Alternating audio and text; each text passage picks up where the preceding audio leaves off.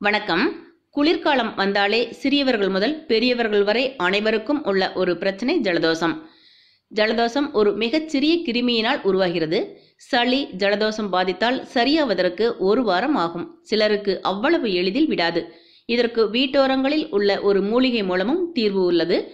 இரண்டு வகையான தீர்வு கூறப்போகிறோம் இரண்டாவது தீர்வு மருத்துவர்கள் மட்டுமே அறிந்த ரகசியம். தெரிந்து கொள்ளும் முன்பாக இந்த வீடியோவுக்கு ஒரு லைக் போட்டுவிட்டு வீடியோவை தொடர்ந்து இறுதி வரை பாருங்கள். இதுவரை நமது நலமுடன் வாழ சேனலை சப்ஸ்கிரைப் செய்யாதவர்கள் இப்ப சப்ஸ்கிரைப் செய்யுங்கள். மேலும் எங்கள் புதிய வீடியோக்களை உடனுக்குடன் பெற பக்கத்தில் இருக்கும் பெல் சிம்பிளையும் ஒருமுறை பிரஸ் செய்யுங்கள். முதலில் பார்க்க போவது ஆடாதொடை பற்றித்தான். நீண்ட முழுமையான ஈட்டி வடிவ இலைகளையும் வெள்ளை நிற பூக்களையும் உடைய குறுஞ்செடி இது. வேலியில் வைத்து வளர்க்கப்படுகிறது. இலை பூ வேர் ஆகியவை மருத்துவ பயனுடையவை. சளியை நீக்கி இருமலை தணிப்பதாகவும் வயிற்று பூச்சிக்கொல்லியாகவும் செயல்படுகிறது. இதனுடைய இலைச்சாற்றையும் தேனையும் சம அளவு கலந்து நாட்டுச் சர்க்கரை சேர்த்து தினமும் நான்கு வேலை கொடுக்க நுரையீரலில் உள்ள கோழை வெளியேறும். மூச்சுத்திணறல் ஆஸ்துமா டிபி நோய் இருமல் மூக்கில் நீர் வருவது ஆகியவை குணமாகும். ஆடாத்தொடை இலை சாற்றை கவனமாக கலந்து கொடுக்க வேண்டும். அதிகம் கொடுத்துவிடக்கூடாது நான்கு வயது குழந்தை என்றால் இரண்டு அல்லது மூன்று சொட்டு போதும். பதினைந்து வயது பையன் என்றால் ஐந்து முதல் ஏழு சொட்டுகள் தேவை. பெரியவர்களுக்கு பத்து முதல் இருபது சொட்டுகள் போதுமானது. பலவீனமாக இருப்பவர்களுக்கு பத்து சொட்டுகள் போதும். அதற்கு பிறகு சளித்தொல்லையே இருக்காது. மற்றொரு நல்ல கை வைத்தியமும் இருக்கின்றது.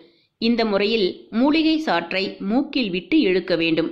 இந்த முறையில் சளித்தொல்லை ஏழு ஜென்மத்துக்கும் வராது என்று கூறும் அளவுக்கு பலன் கிடைக்கும்.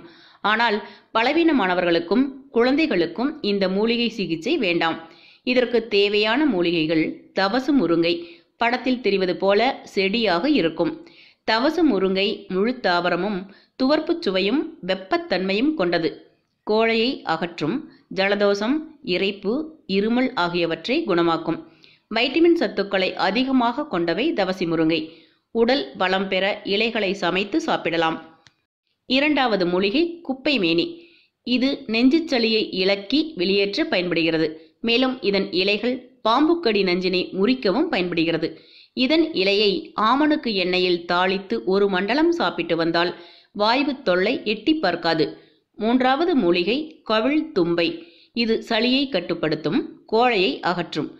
நுரையீரலில் தேங்கியுள்ள சளியை முற்றிலுமாக அகற்றும். மேலும் மலச்சிக்கல் பிரச்சனையை சரி செய்யும். சொறி சிரங்கை ஆற்றும் ஒற்றை தலைவலியை தீர்க்கும். இந்த மூன்று மூலிகைகளும் சாதாரணமாக எங்கும் காணப்படுகிறது. இதன் சில இலைகளை பறித்து நன்றாக இடித்து அதிலிருந்து வரும் சாற்றை எடுத்துக்கொள்ள வேண்டும். சளி ஜலதோஷத்தால் பாதிக்கப்பட்ட நபரை படுக்க வைத்து மூக்கின் வழியே சில சொட்டுக்கள் விட்டு இழுக்கச் செய்வதன் மூலம் நுரையீரலில் உள்ள அத்துணை சளியும் வாந்தி வழியாக வெளியே வந்துவிடும்.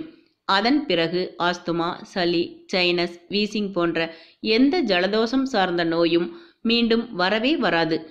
பலமானவர்களுக்கு நான்கு முதல் ஐந்து சொட்டுக்கள் விடலாம். பலவீனமாக உள்ளவர்கள் ஓரிரு சொட்டு போதுமானது. இதய நோயாளிகள் அதிக பலவீனம் அடைந்தவர்களுக்கு இந்த மூலிகை வைத்தியத்தை தவிர்க்கவும். மீண்டும் ஒரு பயனுள்ள சிறப்பான வீட்டு மருத்துவ தகவலுடன் உங்களை சந்திக்கின்றேன்.